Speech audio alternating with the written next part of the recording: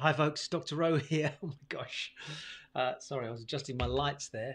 Um, got limited time this evening, so I wanted to just spend maybe five to eight minutes with you, specifically talking about a subject which I think, if we don't talk about this now, those of you that are running a business or possibly um, there's a strange thing going on my screen. I'm not sure how to change that. I think it's to do with the light reflection of my black top. It is, right? I'll keep my arms down, which I don't really like to do, of course.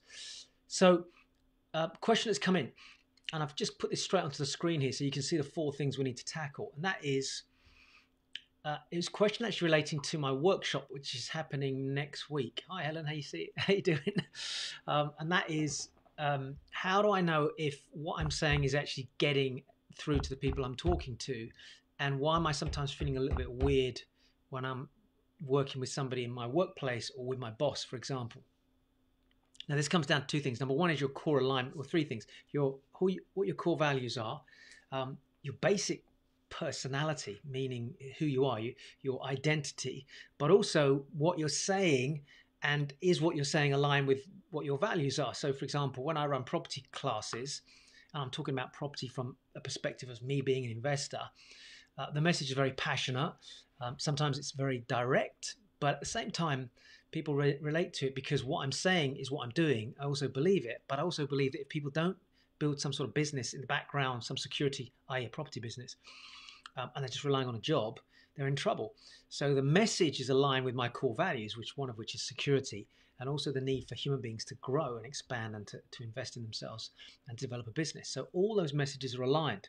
If I didn't trust in one of those messages, or if I didn't believe in one of those messages, then although I might be saying it, the other person doesn't feel it.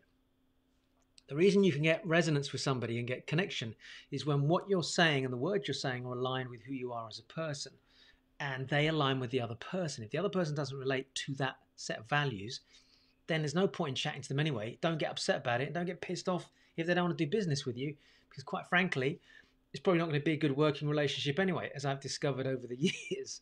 So, the first rule of thumb, and this, so th- this is one of the parts we'll do on the workshop next week. I've just realized actually I haven't put it in the post here. So I will put, uh, you need to go to seekardo.com, but I can't remember what the, I think it's forward slash workshop. Can't remember what the, the link is. So I'll put it in after I've done this post and you can find it. Um, but we've got, I think next Tuesday's workshop is almost full actually. We've got over 50 people booked onto that, I believe. So you may need to book onto the one after that. So, what's the first thing to remember? Number one, if you don't know what your core values are, you're in trouble to start with because you're basically fumbling through life, possibly living by somebody else's core values, values you've inherited. And I used to do this on the turning point. So we'd take people through like five or six hours of raking out and extracting their core values, realigning those values into a hierarchy, and then going, oh my God, this feels totally different. So if, for example, you told me you're healthy, but or that was some of your va- was one of your core values but actually most of the time you're eating shit processed food you know drinking a lot of alcohol all that sort of stuff and not looking after yourself then the reality is you might say that you're healthy but your lifestyle doesn't reflect that. So a quick way to identify somebody's core values is to simply look at how they show up and it immediately reflects it. What a person says is very different to what a person does if they're misaligned. If they're totally in alignment with their values how they show up and how they act and how they speak are all aligned, the message is very, very powerful. So when I teach communicating with impact, one of the things I teach people is don't talk about something or teach something or share an idea with somebody if you yourself are not doing it or you're not aligned with those values. You can't just regurgitate a concept to somebody if it's not in alignment with you as a person. I'm assuming this makes sense. So actually Helen, I think Helen might still be watching now, but Helen Roberts is watching at the moment or was earlier. So she comes on and does a wonderful piece on a Sunday morning when I'm doing my property related events. And she's really in that place, very authentic. She just shares this story, and most of us watching get very upset because we can relate to her story and she means it. She's gone through an ama- amazing journey. That's pure authenticity when somebody's in that space.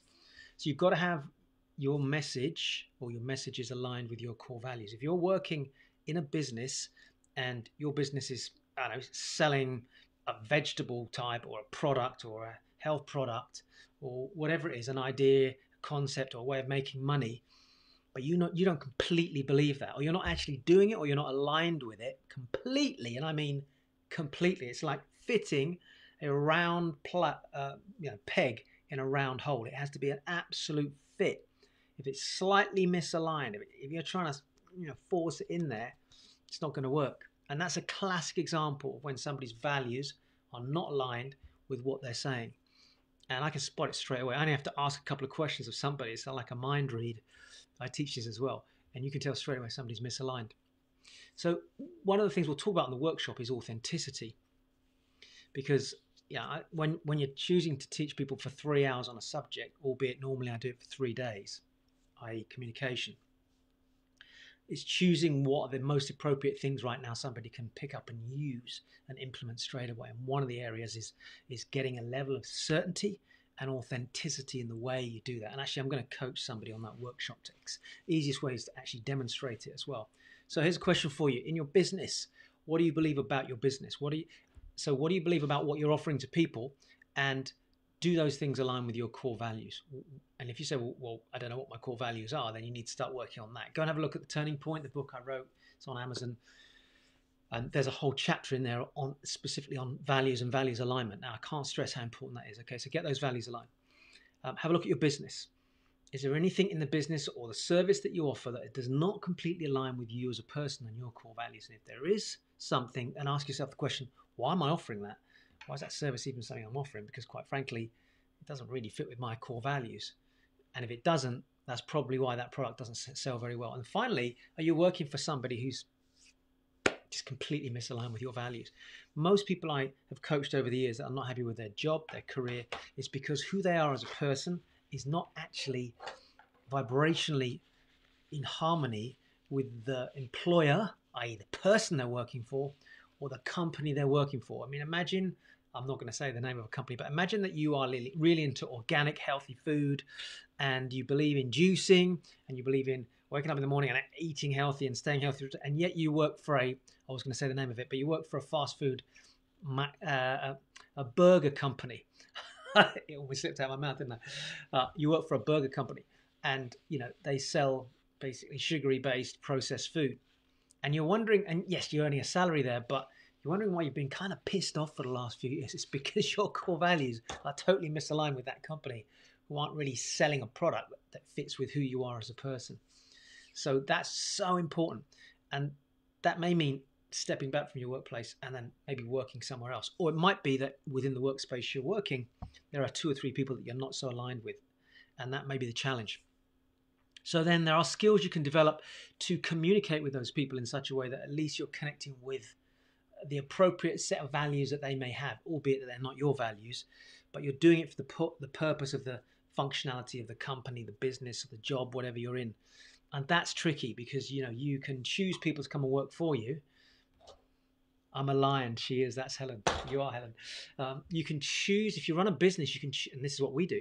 You can choose people to come into your business and work with you. When I do events, for example, on my own personal brand, who I choose to come and crew for us very specific. It's not just like random people. They have to be totally aligned and doing what I'm teaching. Um, but when you go to work for somebody, you can't necessarily choose the people you're working with. And that's where the communication can break down. So there are ways to communicate in such a way that you still align with those people from the point of view of functioning in the job, albeit you don't necessarily want to associate with them, hang out with them, etc. I don't know if this makes sense. So, what's the first step, Dr. Ro? First step is just identify what your core values are. And that's a process of going away. probably take you about two or three hours of hard work to get through that. But if you can do it, it's a great process. And then it's learning how to communicate those values outwardly. So I better go because I'm actually uh, I'm actually giving a short presentation in about 10 minutes to a group of people. So I better go.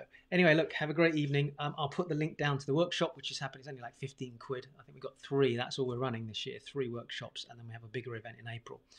Um, so we've got one on Tuesday next week, one on the following Saturday, and yeah, yes, Helen says that's why people are miserable in their jobs. Absolutely, it's not even so much. Know you actually quite enjoy the process they're doing in their job. It's just unfortunate that they're hanging out with people they're not aligned with, or they're they're just personally have different values, but they're forced to work for that company because they want the money. That's a misalignment of value altogether, by the way, but I'm not going to go into that conversation. Right, I better sign off. Lots of hearts coming in. Thank you for that. Thanks for the thumbs up, and I will see you all soon. And I will pop the link back in here just to remind everybody when the workshop is. Um, and I shall see you all soon. Take care.